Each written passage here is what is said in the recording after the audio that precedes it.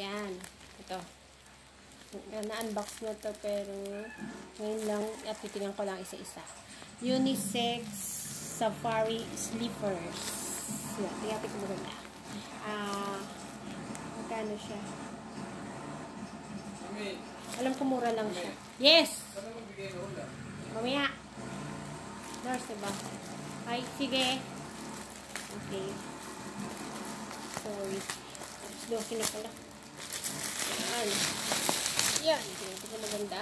Different size. Yan. Parang 190 ba siya?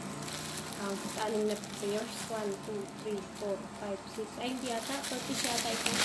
29 or 30. So, ito may pambata. Ito size 16. Size 16. Ay, hindi ko siya pala mabubukas. Pero, maganda siya. Nakabili na ako dati niya. Ay, nasira na pala. Pero okay. Size 16 pa rin. Assorted size. Ano to size na to? Walang nakasulat. So, ito. Ayan nakalagay. So, walang, ay, walang size. Ano ba to? Malamang size 15 or size 16. Malamang size 15. Walang nakasulat. Size 16. Bakit yung size 16? Size 16. Ito size 2. Ang bata pala lahat. Ayan. Size 2.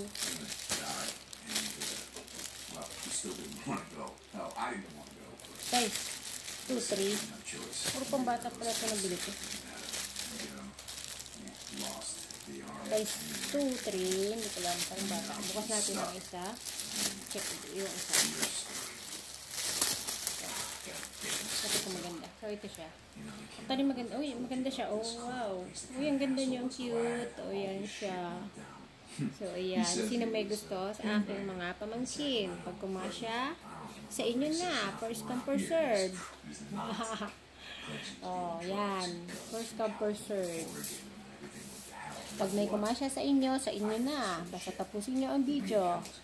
Bye-bye. And subscribe. Thank you.